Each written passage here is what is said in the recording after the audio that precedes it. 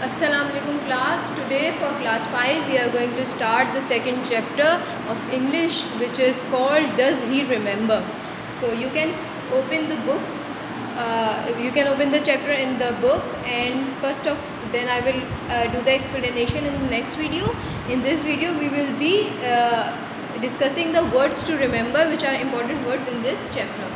So let's see the first word which is determinedly which means decided जब फैसला कर लेना, जब भी कोई इंसान अपना डिटरमाइन कर ले कि मैंने कुछ ये फ़ैसला कर लिया है, मैंने इस पर अमल करना है तो it it is called determined उसने फ़ैसला कर लिया है, अब वो उस पर अमल करेगा।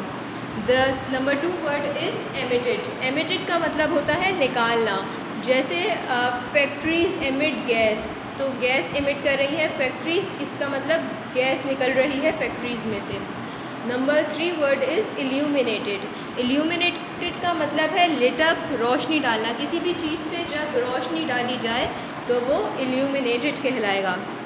Number fourth word is muse muse means consider thoughtfully जिसको अहमियत दी जाए। जैसे कोई मॉडल है, जिसकी तस्वीर खींची जा रही है या जिसके पिक्चर बनाई जा रही है तो उसको हम म्यूज़ कहेंगे। वो आर्टिस्ट का म्यूज़ होगा।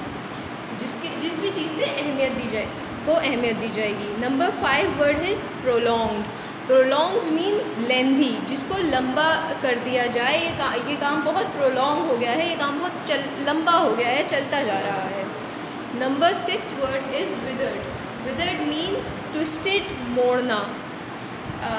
Now we will discuss the chapter in the next video thank you take care